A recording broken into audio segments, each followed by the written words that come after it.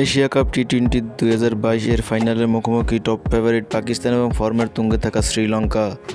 ম্যাচটি অনুষ্ঠিত হবে দুবাই ক্রিকেট স্টেডিয়ামে বাংলাদেশ সময় রাত আটটায়। চলুন দেখে নেওয়া যাক আজকের খেলায় পাকিস্তান টিমের সম্ভাব্য একাদশ। Number one Babar Azam. Number two Mohammad Rizwan. Number three Fakhar Zaman.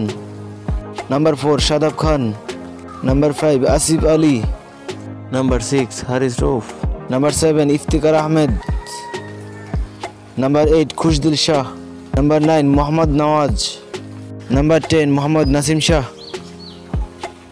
number eleven Mohammad Hasnain সকল ধরনের খেলাধুলার আপডেট পেতে আমাদের চ্যানেলটিকে সাবস্ক্রাইব করে পাশেই থাকুন।